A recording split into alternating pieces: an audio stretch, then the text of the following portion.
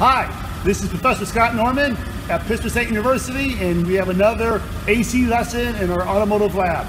Today we're working on a 2013 Cadillac ATS and this vehicle has a internal heat exchanger. So a lot of newer vehicles, we are starting to see external, I'm sorry, internal heat exchangers that are in the AC system where the um, where the AC liquid line and the AC suction line are connected together uh, as a heat exchanger. So that liquid line is trying to heat up, trying to warm up, trying to raise the pressure of the suction line, and that uh, suction pressure, which is cold, is trying to uh, cool down the liquid line before it gets to the uh, to the TXV valve. So what I wanted to see is I wanted to see what type of pressure differences we would see on this particular unit. Now obviously it depends on where your service ports are on this particular vehicle. So the high side service port on this vehicle is right in front of the internal heat exchanger, but the suction line is after the heat exchanger. So I will show you a, a picture of the uh, heat exchanger. Okay, you can see the TXV on the bulkhead, and you can see the power dome right at the end over there. And so the power dome is where you're going to put your CO2 when you want to do the um, TXV test.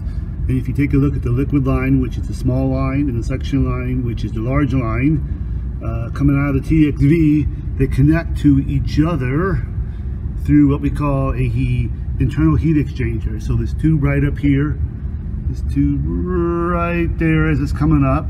Okay, so you kind of have a tube in a tube is what you have. So the so the so the high side liquid line is going to be on the outside of that tube and the suction line is going to be on the inside of the tube.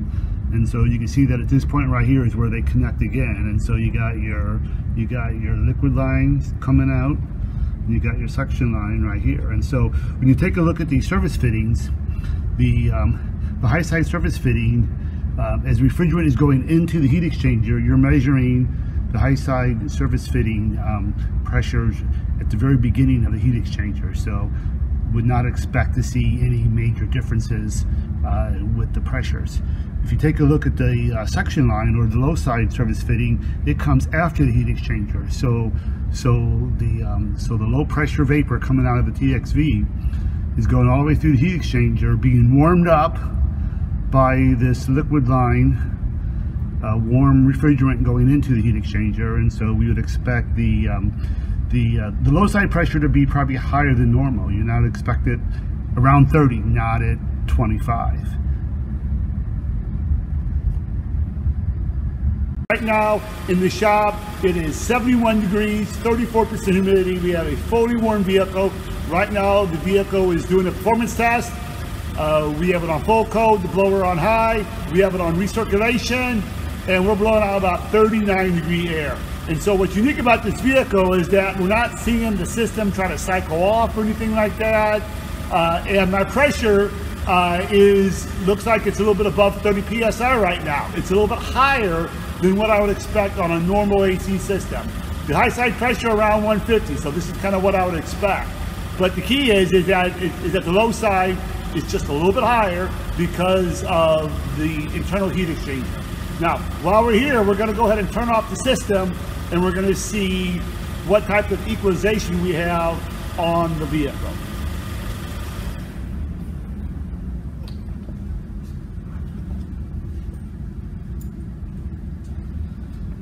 Okay, so I turned the system off and hopefully we got that big jump in pressure that we normally get on that low side pressure. So it looked like it jumped from 30. I, it's hard to read the gauge backwards on my gauge, but it, I could see that jumped up pretty good. And the low side looked like it jumped down a little bit. And now we are slowly equalizing. So the TXV, uh, when I shut it off, it was open because you know you could see that was open because it jumped up quite a bit.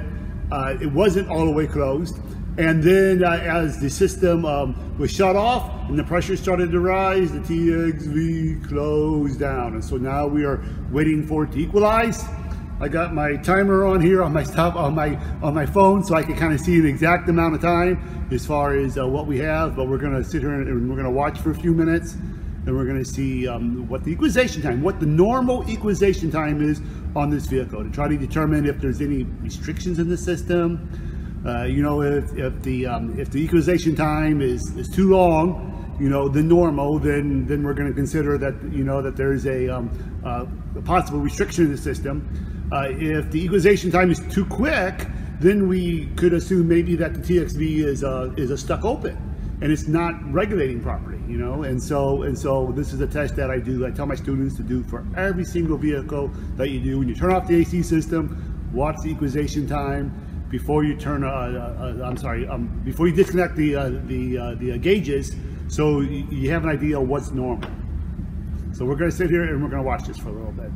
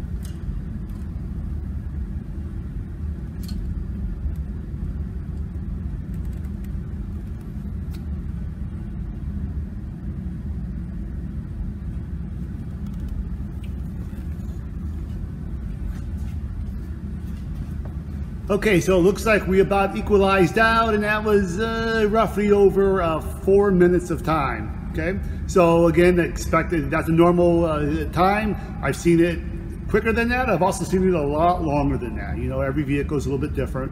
So this is why you wanna do this often to try to determine the baseline.